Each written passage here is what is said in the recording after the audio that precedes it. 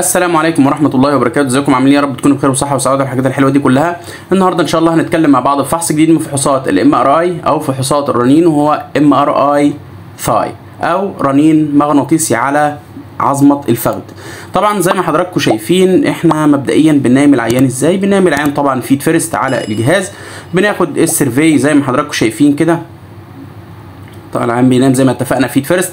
بناخد ال survey بالمنظر ده بيطلع لي coronal و sagittal و axial ببدأ أول حاجة طبعا ببدأ إن أنا آخدها ببدأ إن أنا أعمل axial زي ما حضراتكم شايفين واظبطه على ال coronal بالمنظر ده.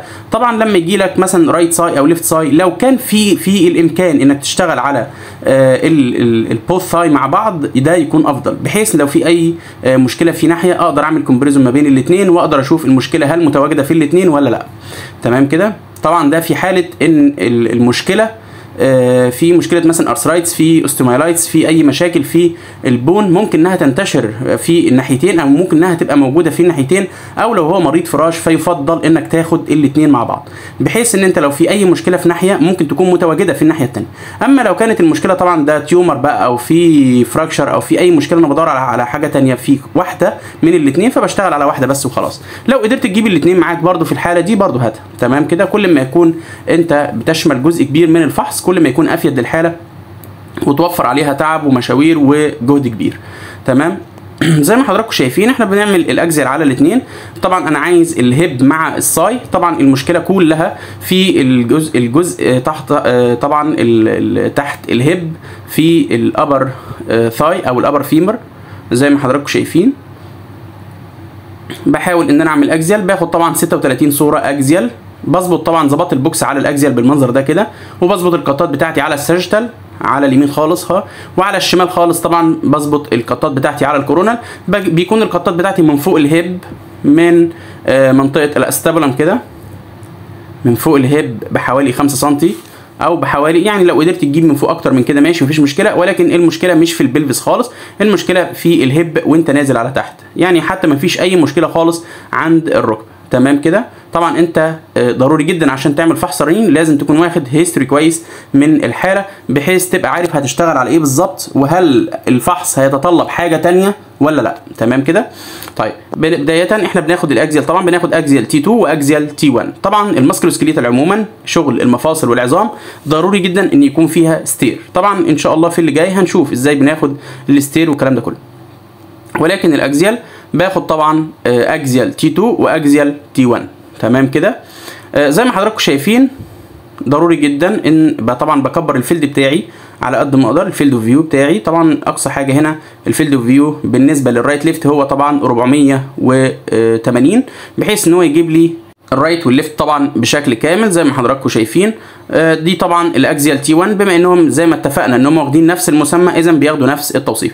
دلوقتي لما بفتح ال coronal بلاقي ال field of view بالنسبة لل right left قليل فبحاول إن أنا أكبره بخليه 500 زي ما حضراتكم شايفين كده كبير جدا. بفتح ال field of view بالنسبة لل feet head بحاول أقلله شوية.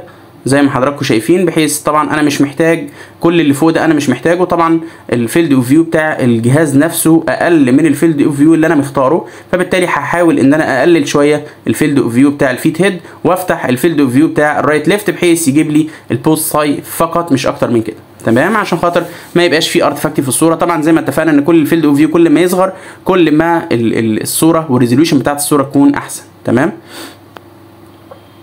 أو زي ما حضراتكم شايفين بظبط طبعا ال box بتاعي على ال coronal وبعد كده باجي على ال axial اظبط اللقطات بتاعتي على ال axial بخلي طبعا اللقطات حوالي 25 صورة. تمام؟ بفتح ال right left شوية بحيث إن أنا أجيب ال soft tissue معايا بشكل كويس. لو في أي مشاكل في ال soft tissue تظهر معايا. أقلل طبعا ال interval ما بين ال slices كده أقلل ال interval شوية. بخلي طبعا ال gap أو ال interval حوالي أربعة. زي ما حضراتكم شايفين وأبص على اللقطات بتاعت ال axial من فوق ومن تحت بحيث إن لو في أي مشكلة أقدر إن أنا أغطيها وأغطي ال soft tissue بشكل كويس وأغطي ال hip وال femurs بتاعتي آه laterally بشكل كويس جدا زي ما حضراتكم شايفين. طبعا أنا بي بيكون عندي اتنين coronal باخد coronal STIR زي ما اتفقنا بناخد coronal STIR وبناخد آه coronal T1 بناخد coronal STIR وده ضروري جدا وبعد كده بناخد coronal T1 بعد كده طبعا بيكون عندي sagittal STIR على الناحية المصابة أو الناحية اللي فيها ألم. تمام؟ باخد sagittal STIR طبعا أغلب الناس يقول لك أنا عايز sagittal T2 ولكن طبعا أنت عندك خدت axial T2 وخدت coronal STIR على الناحيتين. فبالتالي لما بنيجي ناخد sagittal كل ما كتر من ال sagittal في ال musculoskeletal كل ما كتر من ال STIR قصدي في ال musculoskeletal ده بيكون أفضل وأفيد للفحص. فطبعا لما نيجي ناخد sagittal هناخد sagittal STIR تمام؟ بحيث لو في أي مشاكل برضو تظهر معانا في ال sagittal وال STIR يوضحها بشكل كويس من حيث ال arthritis أو ال osteomyelitis أو أي حاجة في ال hip أو في ال femur. زي ما حضراتكم شايفين بنظبط ال sagittal بالمنظر ده بيكون معايا طبعا 25 صورة. بجيب من آه المسافة بحاول إن أغطي ال soft tissue بتاع ال left كله زي ما حضراتكم شايفين. بجيب من نص ال pubic bone كده من فوق طبعا من عند ال pelvis بجيب من نص ال pubic bone. لحد ما اغطي ال femur واحاول إن أنا أجيب جزء كبير من ال soft tissue بالمنظر ده كده زي ما حضراتكم شايفين. طبعا ال box على ال sagittal بيكون مظبوط على الشمال خالص أو على اليمين خالص زي ما حضراتكم شايفين كده بيكون مظبوط. وأجي أظبط القطعات بتاعتي على ال coronal وأظبطها على القطعات ال axial آه طبعا بشكل واضح بشكل كويس جدا زي ما حضراتكم شايفين. وأقلب في القطعات بشكل كويس بحيث إن أنا أغطي من فوق من عند ال pelvis وأغطي من تحت خالص من نص ال femur كده أو من نص أو في نهاية ال femur من تحت لو قدرت تجيب ال femur بشكل كامل. طبعا لو في مشاكل في الركبة أو لو في مشاكل عند الركبة أو في ألم عند الركبة ضروري جدا إنك لازم تنزل تكمل من تحت. لازم تنزل تكمل من تحت. تمام كده؟ بتجيب طبعا من ال knee وأنت طالع. ده لو في مشاكل في مفصل الركبة من تحت. طبعا ولان المشكلة طبعا الحاله ال history بتاعها بيقول ان طبعا هي ما عندهاش اي مشاكل في الركبه خالص هي مشكلتها كلها في ال hip ال left hip من فوق في الم شديد جدا وطبعا لما عملت ال X-ray مش ظاهر فيه حاجة خالص فبالتالي ممكن تكون المشكلة في ال soft tissue المحيط بال thigh أو المحيط بال femur زي ما حضراتكم شايفين ده طبعا اللي شغال اللي هو ال axial T 1 طبعا إحنا واخدين 36 صورة و resolution بالمنظر ده كده فالوقت بيكون طويل شوية إلى حد ما. فبالتالي بنقلب في الصور اللي نزلت. ده طبعا ال T 1 صور ال T 1 بعض اللي نزل نص ال sequence نزل. زي ما حضراتكم شايفين بنحاول إن إحنا نقلب في الصور بحيث ندور على المشكلة بالمنظر ده كده زي ما حضراتكم شايفين. تمام؟ ده طبعا ال coronal. بنبص عليه ونتأكد من التخطيط بشكل كويس.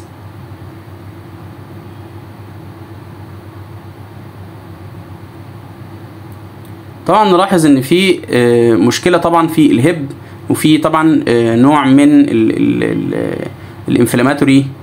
في طبعا التهابات موجودة في ال left hip وطبعا في جزء برضو موجود منها في ال right ولكن هي أكتر في ال left hip تمام؟ طبعا لسه ال T 1 شغال ولسه الصور بتنزل زي ما حضراتكم شايفين.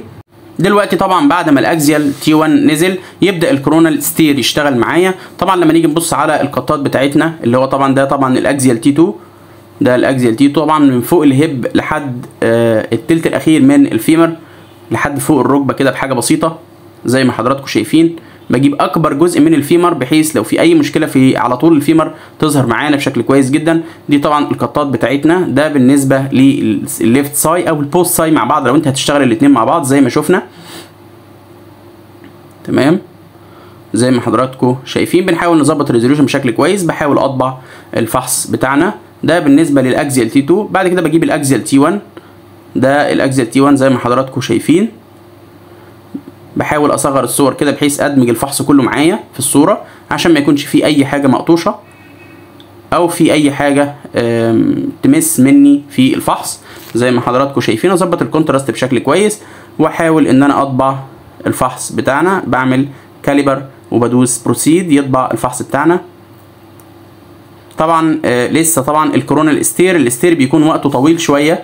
زي ما حضراتكم عارفين ال STIR بيكون وقته طويل شوية بحيث ينزل لي الصور بتاعتي ب resolution حلوة جدا. فطبعا هو بطيء ووقته طويل شوية. ولأننا شغالين طبعا ب field of view كبير على ال both thigh مع بعض فبالتالي الوقت بتاعه آه بيكون طويل. ممكن مدة تصل لأربع دقائق أو زي ما حضراتكم شايفين قدامكم حوالي خمس دقائق و40 ثانية. خمس دقائق و40 ثانية. فبالتالي طبعا آه إحنا محتاجين نصبر على الفحص ومحتاجين طبعا الجودة كويسة جدا بالنسبة للفحص. طبعا ال- الحالة adult فبالتالي لما أفتح ال field view على ال both thigh بالمنظر ده كده الوقت بيكبر بشكل كبير جدا زي ما حضراتكم شايفين عشان يجيب لي resolution أفضل للصورة بالنسبة لل bone وبالنسبة لل soft tissue زي ما حضراتكم آه، عارفين وزي ما هنشوف إن شاء الله مع بعض دلوقتي. دلوقتي بعد ال coronal STIR ما خلص هنيجي نبص طبعا على الصور بتاعتنا. زي ما حضراتكم شايفين ده طبعا coronal STIR حوالي 25 صورة. زي ما حضراتكم شايفين ال field of view كبير جدا. بجيب ال both thigh مع بعض. زي ما حضراتكم شايفين طبعا ال- ال STIR نازل ومعاه ال negative بتاعه بس طبعا ال negative مش مهم بالنسبة لي. فبالتالي أنا كل اللي يهمني هو ال STIR فقط. فباجي بدوس على ال slides كده اللي هي ال STIR واجي هنا تحت. ده طبعا ال negative بتاعه زي ما حضراتكم شايفين. أما نيجي نبص على المشكلة اللي ظاهرة طبعا في bony cyst هنا موجود في ال bone زي ما حضراتكم شايفين. دي طبعا bone bony cyst. تمام؟ أهو. ده طبعا ال cyst اللي موجود. أهو زي ما حضراتكم شايفين. ولكن هل هو cyst؟ هل هو bone tumor؟ فطبعا ده هنشوف إن شاء الله مع بعض. فبنيجي نبص على ندوس على ال STIR وبنجيب slides فبالتالي بيجيب لي ال STIR لوحده زي ما أنتوا زي ما حضراتكم شايفين من غير ال negative طبعا بنحاول نظبط الصور بشكل كويس بحيث إن ال- ال both femur يظهروا معايا في الفيلم وادمجهم معايا في الفيلم وفي الفحص بشكل كويس كده زي ما حضراتكم شايفين. بنحاول نظبط ال- ال- zoom بتاعهم على الفيلم عشان الدكتور يقدر يبص عليهم الاثنين بشكل كويس زي ما حضراتكم شايفين كده. بنظبط ال resolution بالمنظر ده كده عشان كل مشكلة في ال femur تظهر معانا بشكل كويس.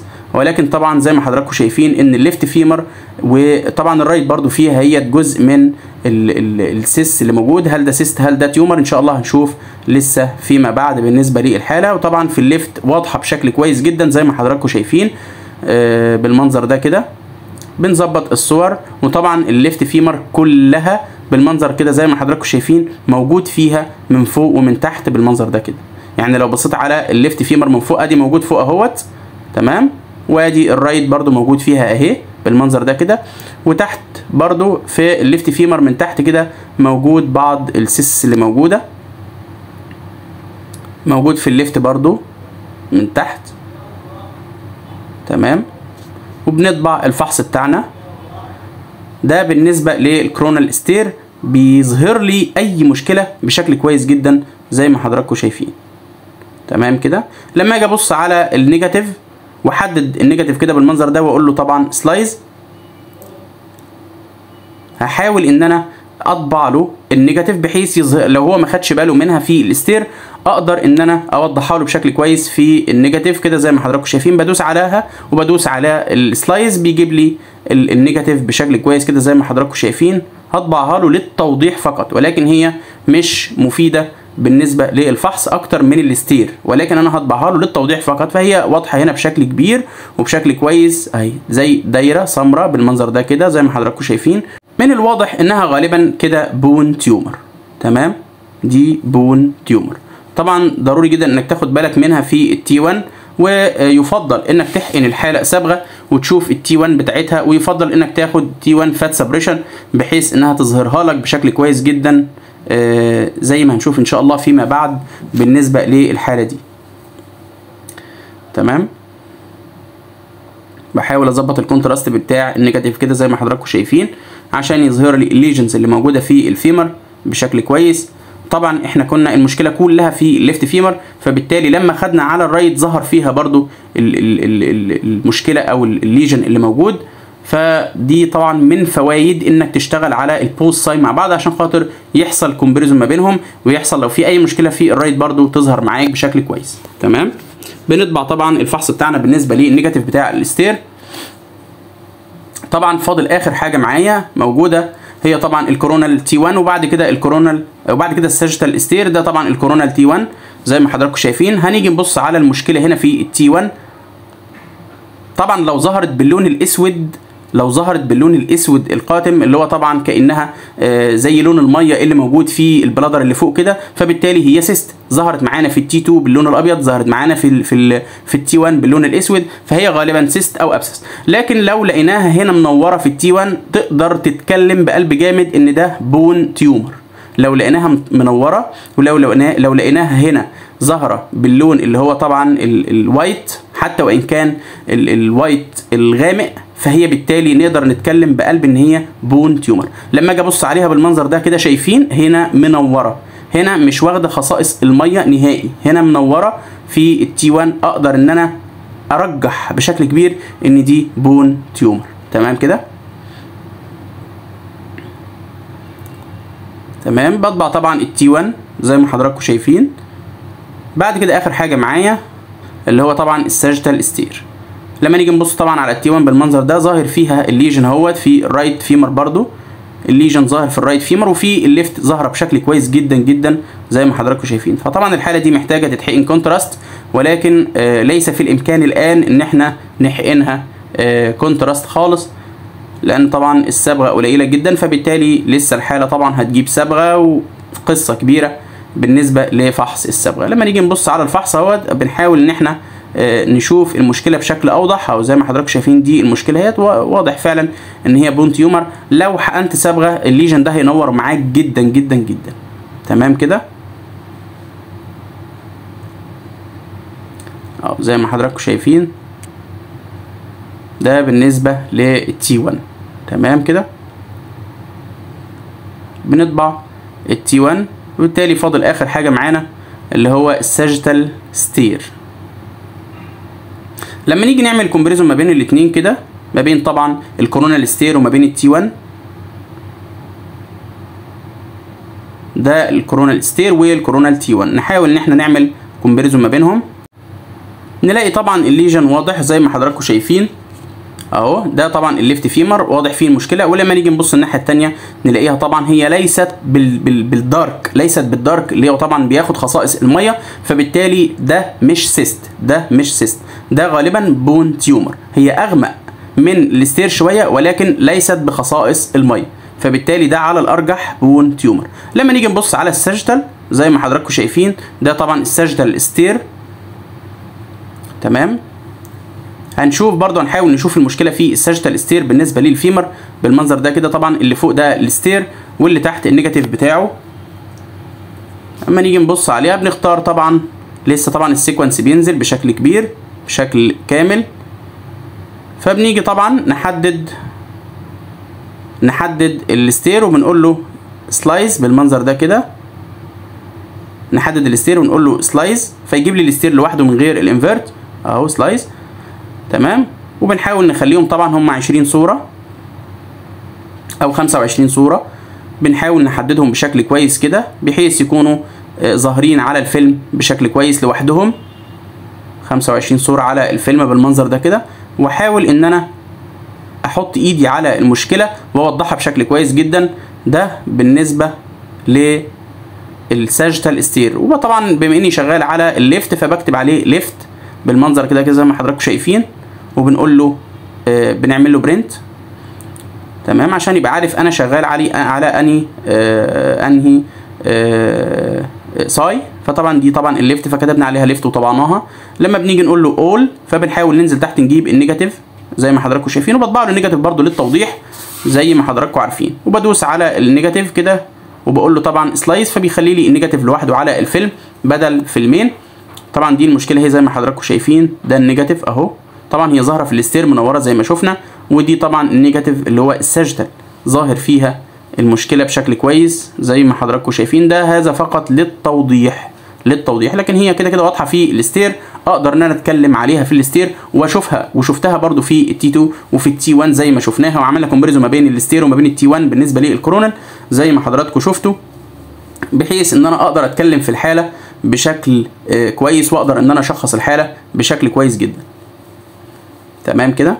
ده طبعا على الأغلب زي ما شفنا زي ما عملنا comparison ما بين ال- ال STIR وما بين ال T1 أقدر إن أنا أتكلم وأقول إن ده bone tumor تمام كده؟ ده بالنسبة لل MRI for thigh بناخد طبعا ال survey بناخد axial T2 axial T1 coronal STIR coronal T1 وبعد كده باخد sagittal STIR على الناحية المصابة. طبعا أنا كانت مشكلتي كلها في ال left thigh فبالتالي لما خدت على ال right كان ظاهر فيها برضو المشكلة ظهر في ال right فبالتالي إحنا خدنا sagittal واحد على ال left اللي هي أكبر المشاكل اللي هي طبعا كان مطلوب لها الفحص فبالتالي زي ما ظهر في ال left thigh هيظهر في ال right thigh نفس المشكلة بنفس الخصائص بنفس كل حاجة.